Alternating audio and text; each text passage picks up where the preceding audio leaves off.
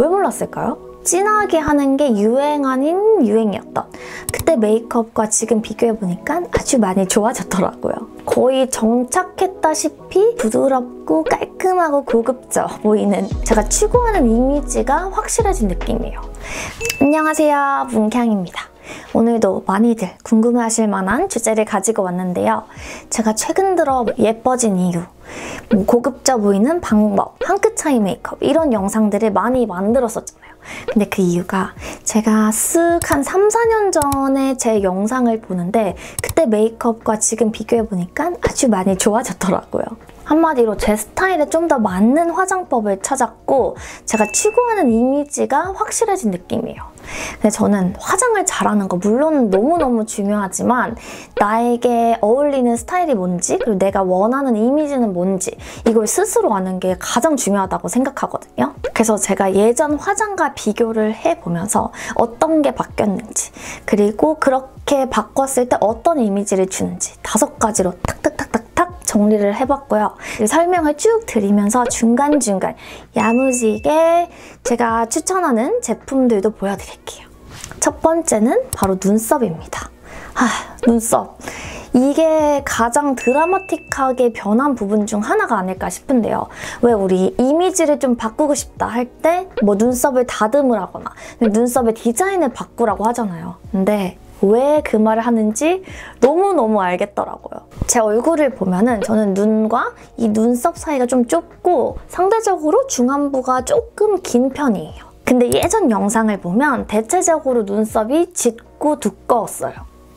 확실히 인상이 강해 보이고 묘하게 더운 느낌이 나죠. 전 개인적으로 제 이미지가 좀 더 부드럽고 깔끔하고 고급져 보이는 느낌을 추구하는데 여기 뭐 눈썹이 짙 얇고 두껍다 보면 전체적으로 좀 화려한 인상을 주거든요. 게다가 눈썹과 눈 사이가 좁아지니까 중안부 보완이 전혀 안 됐던 거죠. 그래서 최근에는 밝은 eyebrow cara로 이 눈썹을 염색하거나 아니면 셀프로 혹은 미용실에 가서 눈썹을 무조건 연하게 염색을 합니다. 얼마 전에 진짜 역대급으로 연하게 염색을 한번 했는데 그걸 인스타 올렸더니 너무 많은 목록자분들이 어, 잘 어울린다고 칭찬을 해주시더라고요.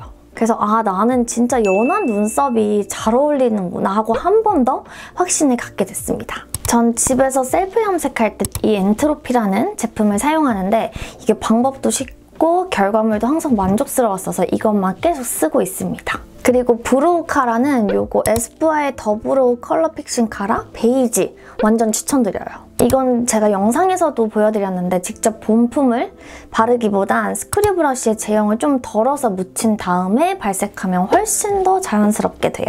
그리고 눈썹도 약간의 아치형으로 예전보다 끝 쪽을 얇게 그리고 있는데 이렇게 하니까 눈썹으로 시선이 덜 가서 더워 보이는 느낌도 없고 전체적으로 조금 부드러운 이미지를 주더라고요. 확실히 저처럼 자연스럽고 부드러운 이런 분위기를 추구하시는 분들에게는 눈썹 염색을 거의 필수적으로다가 추천을 드리고요. 저처럼 눈두덩이가 조금 좁으신 분들은 이 두꺼운 눈썹을 조금만 얇게 그려도 이 답답한 느낌, 더워 보이는 느낌이 한층 더 보완이 될 거예요. 다음은 컬러 렌즈인데요. 미리 구구절절 혀가 조금 길어지자면요.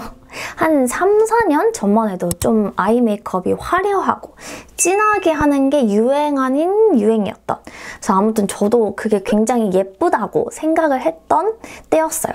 그리고 저도 워낙에 메이크업에 관심도 많고 이 색감 저 색감 화려하게 써보는 걸 좋아해서 컬러 렌즈를 되게 다양하게 꼈었거든요. 그렇다고 막 맨날 꼈던 거는 절대 아니지만 막 톤 따위 다 무시하고 personal color 다 무시하고 막 파란색, 핑크색, 초록색 이런 거를 엄청 많이 꼈던 것 같아요. 근데 사실 컬러도 정말 중요하지만요. 저는 그래픽 그리고 직경이 훨씬 더 중요하다고 생각을 하는데 그때는 뭐 컬러도 이미 화려한데 직경도 막 크고 그래픽도 막 너무너무 화려한 그런 렌즈들을 많이 꼈었죠. 근데 딱 봐도 아시죠? 저는 그렇게 직경 크고 화려한 그래픽이 어울리는 뭐 눈이라던가 이미지는 사실 아니에요. 그래서 저는 그런 화려한 렌즈들을 잘 소화하시는 분들을 너무너무 부러워하는데 저는 눈이 이렇게 가로로 긴 편이고 그렇다고 위아래로 큰 동그란 눈이 아니라서 직경이 크거나 좀 화려한 그래픽의 디자인을 꼈을 때 엄청 개눈 같아 보이고 그 눈이 되게 답답해 보이는 막 eye 메이크업 하나도 안 보여버리는 그런 눈이 돼버리더라고요. 그러다 그렇게 메이크업도 조금 진해지고 덜어지면서 그런 컬러 렌즈는 거의 착용하지 않았던 것 같아요. 대신 저는 여전히 brown, 뭐 gray 이런 컬러의 렌즈들은 메이크업에 따라서 종종 착용을 하곤 하는데 아까 말했듯이 여기서 중요한 건 사실 그래픽이랑 직경이거든요. 그래서 지금도 착용 중인 거의 정착했다시피 daily하게 좀 자주 끼는 이 렌즈가 오렌즈의 시오 초코 브라운 컬러인 것 같아요. 이게 직경도 12.9였나 뭐 13으로 그 눈동자 그 외곽 라인도 거의 없는 정말 제 동공과 흡사한 그런 디자인이라서 꼈을 때 진짜 자연스러워요. 다들 낀 줄 잘 모르실 텐데 약간의 훌라 현상이 조금 아쉽긴 하지만 어쨌든 daily로 꼈을 때 제 눈에서도 아주 아주 자연스럽게 잘 융화가 되는 그런 렌즈라서 이거 완전 추천드려요. 그래서 좀 시간이 지나도 촌스러워 보이지 않으려면 내 눈 크기와 잘 맞는 그런 직경의 렌즈를 내가 끼고 있나 내 이미지와 내 톤과 잘 어울리는 컬러의 렌즈를 끼고 있나 한번 잘 체크해 보시는 거를 정말 추천드리고요. 사실 이미지와 안 맞게 내 눈의 그런 모양과 디자인과 전혀 안 맞게 너무 과한 튀는 렌즈를 끼게 되면 제가 말했던 그런 부드러운 이미지, 고급진 이미지랑은 조금 거리가 멀어지게 되니까 꼭 한번 필수로 체크를 해보시는 거 추천드립니다. 또 하나 예전과 정말 많이 바뀐 게 바로 제 립 메이크업이 아닐까 싶은데요. 한 작년부터인가? overlip pencil 그리고 뭐 lip pencil 이런 게 대대대대 히트를 치면서 그냥 전국적으로 overlip 연출이 유행이 됐잖아요. 네, 저는 제가 추구하는 이미지를 딱 확고하게 가져가는데 이 overlip 연출이 정말 한몫을 했다고 생각합니다. 방금 말했던 것처럼 저는 중안부가 조금 긴 편이고 그리고 인중도 살짝 긴 편이에요. 근데 이런 점들을 가장 쉽고 빠르게 보완할 수 있는 게 바로 이 overlip 메이크업이거든요. 이제 이거 없이 저는 화장을 할 수가 없는 지경에 달했습니다. 근데 예전에는 항상 제 이 입술 라인을 따라서 lip을 그렸다거나 약간의 smudging 정도만 했지 요즘처럼 이렇게 아예 입술을 재창조하는 overlip 메이크업은 하지 않았거든요. 근데 제가 이 윗입술이 아랫입술에 비해서 조금 더 얇은데 특히나 이 윗입술을 좀 더 도톰하게 위로 올려주니까 인중도 짧아 보이고 그리고 중안부도 같이 짧아 보이는 효과가 생긴 거죠. 근데 그때는 이거를 몰랐어요. 왜 몰랐을까요? 그리고 두 번째로는 제 입으로 말씀드리기 살짝 민망하지만 주제가 주제인지라 말씀을 드려보자면 예전부터 우리 뭉독자들이 제 입술이 하트 모양을 닮았다고 어, 이걸 정말 칭찬을 많이 해주셨거든요. 감사하게도. 게다가 제가 입술 자체는 좀 전체적으로 도톰한 편이긴 해서 딱 시선이 립에 가게끔 했을 때 정말 반응이 항상 좋았어요. 그래서 저는 워낙에 입술에 조금 힘을 줘서 메이크업을 하는 거를 좋아하는데 overlip 연출로 뭐 입술 크기 자체도 키우고 입꼬리도 살짝 올리고 contouring으로 여기 그림자도 넣어주고 하니까 입체감도 생기면서 제 얼굴에 그런 매력 포인트라고 하면 할 수 있는 매력 포인트를 좀 더 강조를 해주니까 이목구비가 확 사는 느낌이 들더라고요. 그래서 제품 추천 당연히 해야겠죠. 우선 하트 퍼센트의 도톰 무드 lip pencil creamy pink 그리고 oat beige 이거 두 개 없이 저는 살 수가 없고요. 그리고 지금 딱 잘 어울리는 가을 컬러로는 노베브의 contour point dual lip pencil 이 brick beige 컬러가 정말 뒤집어집니다. 저는 overlip pencil의 정말 큰 수혜자라서 단점은 보완을 해주면서 강점은 살려주는 그런 일석이조의 고마운 제품들이라서 이건 아마 평생 가져갈 템이 아닐까 싶습니다. 다음은 바로 under 메이크업인데요. 이게 또 아주 아주 중요합니다.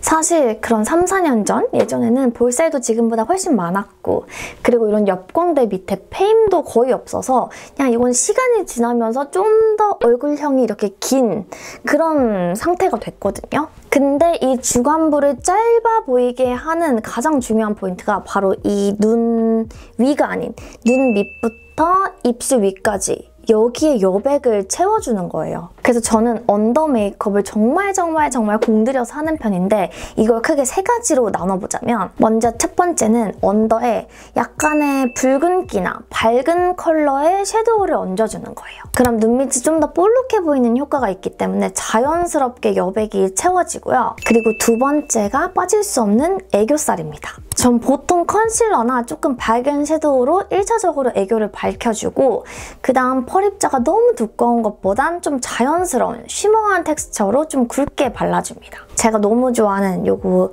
투쿨포스쿨의 아트클래스 프로타주 펜슬 1호 샤이니 민넨 이거 너무 유명한 템이죠. 얘가 정말 쉽고 빠르게 애교살을 밝혀주는데 또 너무 예쁘게 애교살이 만들어져서 이거는 정말 제 파우치 디폴트 템이에요. 마지막이 바로 이 under 점막 라인 아래 음영 컬러를 좀 진하게 넣어주는 건데요. 이 부분이 정말 정말 중요합니다. 원래 내 under 점막 라인보다 좀 더 아래에 음영 컬러를 넣어서 밑트임 효과를 주는 거예요. 그럼 눈이 더 아래로 확장되면서 원래 내 눈은 여기까지였는데 여기까지 같아 보이는 그런 착시 효과를 만들어주는 거예요. 그리고 나서 저는 under 마스카라도 무조건 꼭꼭꼭 필수로 해줍니다. 이렇게 하면 눈 아래가 전체적으로 음영도 올라가고 미팅 효과도 생기고 좀 입체감이 생기니까 눈이 커 보이는 효과는 물론 중안부가 짧아 보이는 단점까지도 잘 보완을 해주는 거죠. 그래서 저는 이 언더 메이크업 과 애교살 메이크업은 정말 정말 공들여서 하는 편이에요. 그리고 마지막 다섯 번째. 예전에 비해서 요즘은 메이크업의 그 전체적인 선을 굉장히 부드럽고 연하게 연출을 해준다는 건데요. 이것도 정말 중요합니다. 아마 방금 앞에 쭉 말했던 네 가지가 여기에 조금 조금씩 다 해당되지 않을까 싶은데요. 예전엔 화려한 화장이 유행이기도 했고 좀 더 눈에 튀어 보이게 메이크업을 했기 때문에 전체적으로 선이 되게 뚜렷하게 제가 메이크업을 했거든요. 아까 말씀드린 것처럼 눈썹, 또 굉장히 짙고 두껍게 연출했는데 요즘에는 컬러도 좀 빼고 부드럽고 연하고 얇게 그런 식으로 brow를 그리고요. lip도 진한 컬러를 바를 때는 제 입술 라인을 똑 따서 그린다기보다는 overlip 연출로 좀 smudging을 해서 자연스럽게 발라주고요. 그리고 또 바뀐 화장법은 저는 요즘에는 거의 아이라인보다는 마스카라로 눈을 강조해주고요. 뭐 라인을 두껍게 그린다거나 언더 점막을 꽉 채워서 아이 메이크업을 연출하면 되게 답답해 보이고 별로거든요.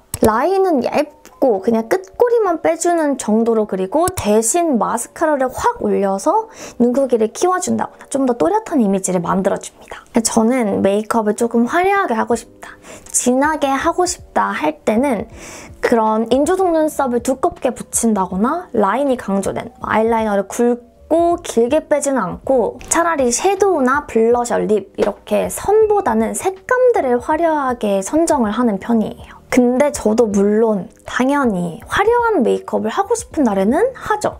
근데 그냥 전체적으로 내가 갖고 가고 싶은 이미지가 조금 부드럽고 깔끔하고 고급진 느낌이기 때문에 보통 데일리 메이크업은 이렇게 한다 정도로만 생각해 주시면 될 것 같고요. 만약 반대로 몽독자들이 나는 좀 아이돌 느낌 나게 화려하게 뭔가 탁 튀는 그런 이미지를 갖고 싶다 하시는 분들은 그에 맞게 하시면 되는 겁니다. 네, 오늘 영상도 이렇게 끝났는데요. 3, 4년 전 영상 이렇게 딱 보니까 아 뭐 귀엽기는 했지만 전체적으로 좀 이미지 안 맞는다. 약간은 뭔가 촌스럽다 하는 그런 메이크업들이 많더라고요. 그래서 요즘 제 메이크업이 어떤 식으로 바뀌어서 어떤 이미지를 갖게 됐는지 좀 오목조목 옹독자들에게 설명을 드리면 도움이 되지 않을까 싶어서 이렇게 영상을 찍어봤습니다. 그럼 오늘 영상도 저와 함께 해주셔서 너무너무 감사드리고요. 전 또 얼른 다음 영상으로 돌아올게요. 우린 다음 영상에서 만나요. 그럼 안녕!